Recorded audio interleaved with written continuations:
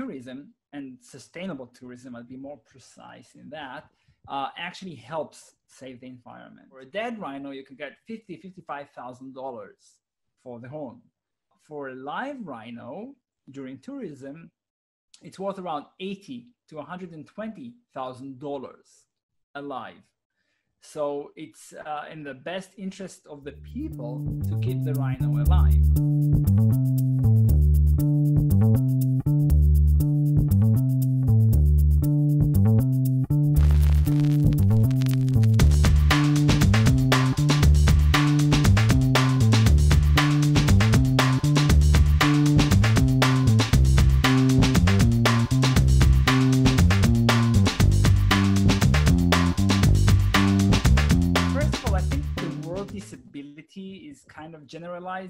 And there is a lot of disabilities that are not even disabilities uh, in, in that sense, uh, only perceived as disabilities.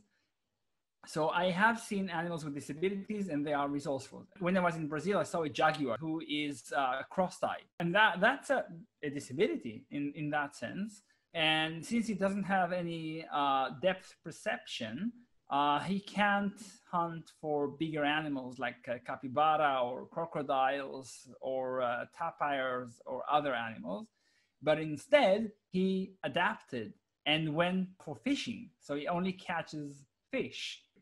Another animal with disability that I saw is uh, saiga antelope. Saiga antelopes, they're kind of an antelope living on the southern Russia border with Kazakhstan and um, they have this big nose and they look really adorable, but they're they're critically endangered. And I went there to do a project with the University of Moscow, and there I saw an albino uh, saiga.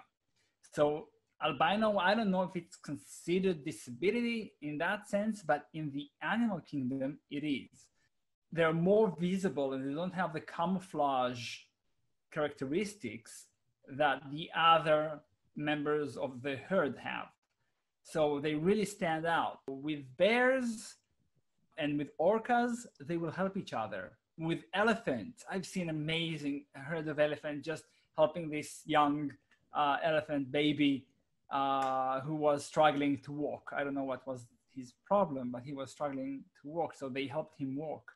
Uh, so you you get these kinds of behaviors with the jaguar, with the cross-eyed jaguar that I mentioned before he was living with his brother. So his brother would help him catch fish and they would share those fish.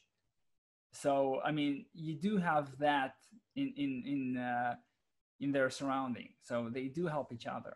I've had clients who participated in the workshops that I guided who were with disabilities, either on a wheelchair or uh, crutches or other kinds of disabilities.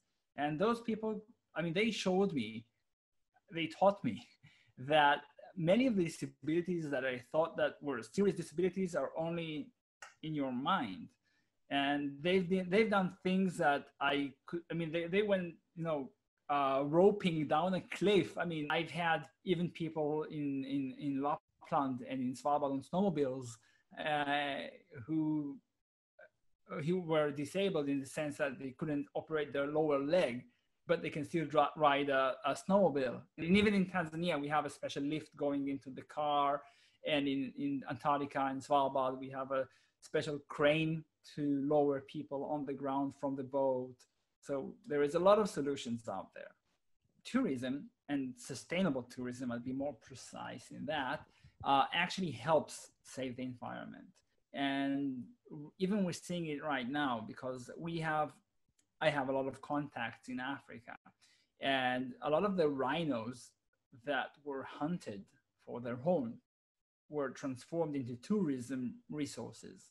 So a lot of uh, tourists come to watch the rhinos, and a rhino is worth more alive than dead. So for a dead rhino, you can get fifty, fifty-five thousand dollars for the horn. For a live rhino during tourism, it's worth around eighty to $120,000 alive. So it's uh, in the best interest of the people to keep the rhino alive and not kill it. The same with the mountain gorillas. So the mountain gorillas in the Bwindi, in the impenetrable forest in Uganda, uh, they were hunted and they were critically endangered. There were less than a thousand mountain gorillas left in the world. And thanks to sustainable tourism and really expensive permits, I mean, the permits is uh, 600 to 750 dollars per person uh, per day. Uh, and you have to hire, you can only hire someone local from, from the community. So their livelihood is based on tourism of people who want to come over and see the mountain gorillas. So each mountain gorilla was worth $10,000 dead and now $80,000 alive. So that's a huge difference. So instead, uh, instead of killing the gorillas, they're now looking after them and making sure that nobody harms their gorillas. Because if they do, the community is losing money. The same with the Tortuguero in uh, Costa Rica that were hunting, uh, catching, and, and selling sea turtles for soup and food. And now they have a lot of tourism based on those sea turtles. So, in that sense, tourism is raising the value of animals alive rather than dead. So, the community has interest in preserving nature and the habitats and the animals themselves. So they say that money makes the world go round. The same in this case. If you're starving and a dead rhino can save your life, people will kill the rhino. Sustainable tourism is good for the environment. And there is destructive tourism as well, uh, like the hunters and, and uh, people who go for trophy hunting and, and so on. And there is destructive tourism in the sense of, you know, people who are ruining uh, beaches and, and resorts, uh, ruining uh, sea coral reefs just to build another resort. So they, these can be also destructive. Uh, so it can be uh, sustainable and it can be destructive. It all depends on how you do it.